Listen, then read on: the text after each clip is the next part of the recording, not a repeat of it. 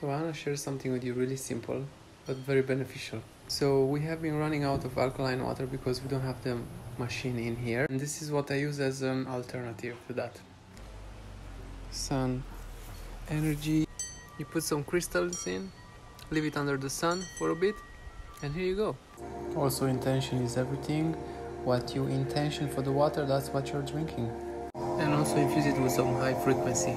I'm very picky about the water frequency and what I put into my body because it completely shifts my frequency and I'm very sensitive to it so I can feel it immediately.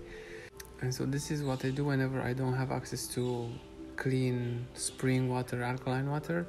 I place the water that I have into the sun with crystals and intentions. That's the least that we can do for ourselves. Self love first. love you. It's not only clear, but it's also activated with sun codes and the crystal energy and your intentions in it. You're literally drinking your intentions, right?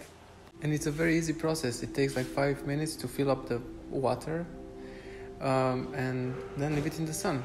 Set intention, set your crystals, and that's it. I use a stainless steel container or glass container, but no plastic containers.